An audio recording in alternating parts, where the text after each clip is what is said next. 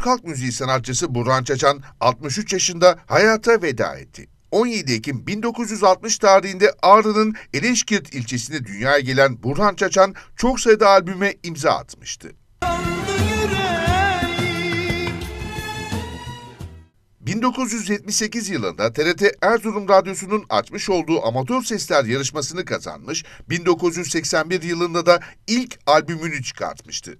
Sefa Geldin, Ben Yarime Neler Alayım, İpek Mendil, Memik Oğlan, Ayaz Geceler, Yağ Yağmur ve Vurun Dalgalar isimli albümleriyle müzik dünyasında yer edindi. Sanat yaşamına Ağlama, Her Yer Karanlık, Ayaz Geceler ve Yağ Yağmur isimli dört sinema filmi de sığdı. Sende kaldı yüreğim 63 yaşındaki Türk halk müziği sanatçısı Burhan Çaçan evinde kalp krizi geçirerek hayatını kaybetti.